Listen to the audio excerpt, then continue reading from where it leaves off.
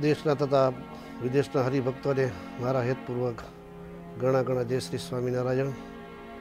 ભક્તો, તમે જાણો છો વિશ્વમુખ અત્યારે મહાવિશ્વમુકાળ ચાલે છે.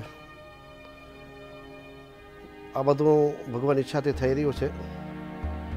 માણસ કોઈ કાંઈ કરી શકતો નથી.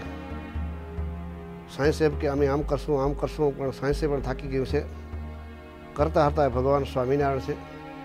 એના થકી સર્વ થઈ રહ્યો છે. આગળમાં પણ જે મહામા મોટો ભવ્ય રોગ રોગ આવ્યા હતા, ત્યારે પણ આવા સંકટમાં માણસો ધીરજ રાખી હતી. ધીરજ છે ને એ શરીરમાં બહુ પૂર્ણ શક્તિ આપે છે. અત્યારે મહાકાળ ચાલે છે. કદાચ આવી ગયો હોય ને તો હિંમત ના હારતા. જો હિંમત હારશો ને તો શરીરમાં શક્તિ અડધી પૂરી થઈ જાય, એટલે માણસ ઘવાઈ ગયારો એના કરતાં હિંમત રાખજો અને ભગવાનનું ભજન કરજો. મહારાજે શિક્ષાપત્રીમાં કહ્યું છે કે કાળ આવે ત્યારે શું કરવું? સમય વિષમ કાળ આવે ત્યારે ભગવાનનું ભજન કરજો. ભગવાન આપણી સહાય કરશે કારણ કે શ્રીજી મહારાજ આપણા માટે બંધાયેલા છે.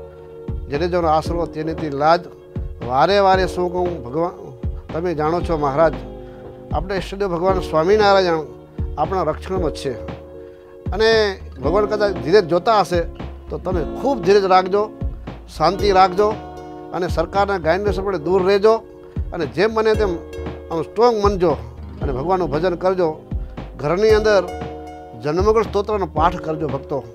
મહારાજે જન્મગળ સ્તોત્રમાં એટલી શક્તિ મૂકી છે. ઘરમાં અત્યારે મહાકાળ ચાલે છે. ઘરના બધા સભ્યો મળે અગિયાર પાઠ કરજો. ભક્તો, અમે પણ ભગવાન પાસે પ્રાર્થના કરી છે માનસ્વામી વહેલા રાતના એક વાગે ઉઠીને પણ આપણા રક્ષણ માટે માનસ્વામી પ્રાર્થના કરે છે.